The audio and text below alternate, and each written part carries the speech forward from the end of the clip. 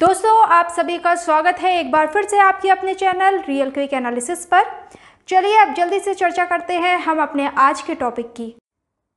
आपको शायद पता हो, वर्ष 2023 तक इसराइल में दुनिया का सबसे बड़ा डिसलिनेशन प्लांट लगाया जाना है।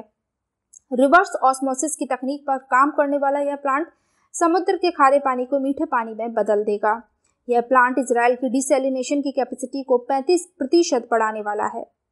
भविष्य में सूखे की समस्या से निपटने के लिए इसराइल कोशिश कर रहा है कि वर्ष 2030 तक उसके खारे पानी को मीठा बनाने की क्षमता डबल हो जाए। इस सौर बी प्लांट को बनाने के लिए तीन ग्रुप्स ने अपनी अपनी बिड दाखिल कराई थी, जिनमें से एक ग्रुप का नाम था इसराइली हचीसन वाटर कंपनी, जो हांगकांग में स्थित चाइनीज़ कंपनी हचीसन की ही एक इसराइली शाखा है। लेकिन यहाँ पर ध्यान रखने वाली बात यह है कि यह डिसेलिनेशन प्लांट उस एयरबेस के पास बनाया जाना था, जहाँ पर अमेरिका और इसराइल मिलकर मिसाइल टेस्ट करते हैं। अब आपको समझ आ गया होगा कि यह प्लांट न केवल इसराइल के इंफ्रास्ट्रक्चर और स्ट्रेटेजिक दृष्टि से बहुत महत्वपूर्ण है, और क्यों चीन इस प्लांट में इतनी रुचि ले रहा है। अब आप ही बताएँ कि इसराइल और अमेरिका को यह बात हजम होनी चाहिए थी कि जिस इलाके में हाईली कॉन्फिडेंशियल टेस्ट किए जाते हैं, वहाँ पर चीन भी आकर बैठ जाए। जबकि इस प्लांट का निर्माण कौन करेगा, इस बारे में अंतिम निर्णय इसराइल को ही लेना था। लेकिन कुछ ही दिनों पहले अमेरिका के विदेश सचिव ने करी इसराइल की यात्रा और उन्होंने बिना इस प्लांट का नाम लिए साफ़ कर दिया कि यदि चीन इसराइल के इंफ्रास्ट्रक्चर अथवा कम्युनिकेशन सिस्टम में हिस्सा ले लेता है तो अमेरिका के लिए इसराइल के साथ सहयोग करना मुश्किल हो जाएगा। ज़ाहिर है इसराइल को अमेरिका की बात समझ आ गई और उसने आज निर्णय भी ले लिया है। जिसके अनुसार सौरभ भी डिसेलिनेशन प्लांट का निर्माण करने का ठेका इसराइल की ही लोकल कंपनी आईडीई टेक्नोलॉजी को दे दिया गया है। इसराइल के एनर्जी मिनिस्टर के अनुसार आईडीई टेक्नोलॉजी के द्वारा पेश किया गया ऑफ़र सबसे सस्ता और बेहतरीन था और फाइनल स्टेज में पहुँची चीन की कंपनी भी उसे मैच नहीं कर पाई।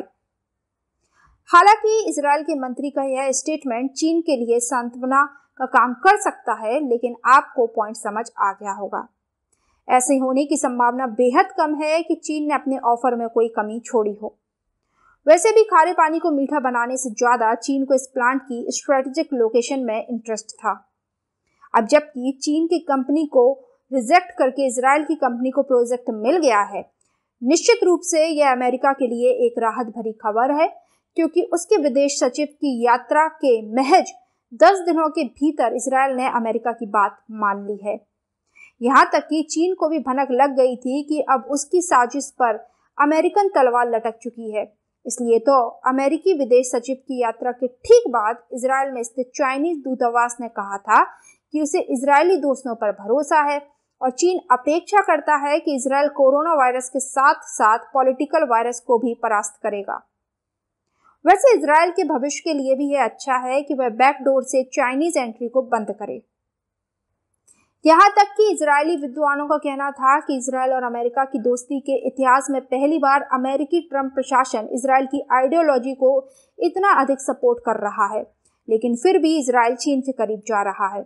शायद आपको जानकारी होगी कि बेल्ट एंड रोड इनिशिएटिव के अंतर्गत चीन इसराइल के हैफा और असदौद में बंदरगाह का निर्माण कर रहा है। और तेल अबीब का लाइट रेल प्रोजेक्ट भी बीआरआई में शामिल है। बात इंफ्रास्ट्रक्चर तक ही सीमित रह जाती तो ठीक होता, लेकिन चीन को पता है कि इसराइल टेक्नोलॉजी इनोवेशन का हब है, इसलिए इसराइल से जुड़कर चीन को बहुत लाभ होता हुआ दिखाई भी दे रहा है। चीन जिस सौ सालों की साजिश पर काम कर रहा है, उसमें अमेरिका को हराने के लिए चीन साफ़ तौर पर इसराइली कंधे का इस्तेमाल करता हुआ देखा जा सकता है।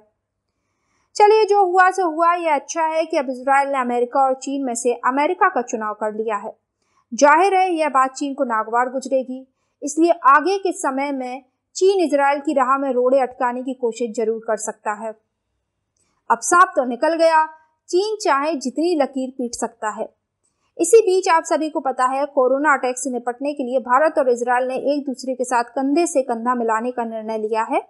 भारत में स्थित इजरायली दूतावास के अनुसार दोनों देशों के वैज्ञानिक मिलकर ऐसी कोरोना वायरस टेस्टिंग किट का विकास कर रहे हैं जो कुछ ही मिनट्स में विश्वसनीय रिज़ल्ट दे देगी। इंडिया और इसराइल के बीच बढ़ता हुआ वैज्ञानिक सहयोग हम सभी के लिए प्रसन्नता का विषय है।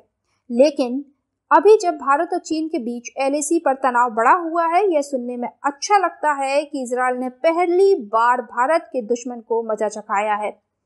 आप सभी को पता है इसराइल जितना चीन के प्रभाव से मुक्त रहेगा, भारत के भविष्य के हिसाब से उतना ही अच्छा रहेगा। यह हम सभी बिल्कुल नहीं चाहते हैं कि जब भारत चीन का विवाद छिड़े तो इसराइल तटस्थ होकर चीन का साथ दे।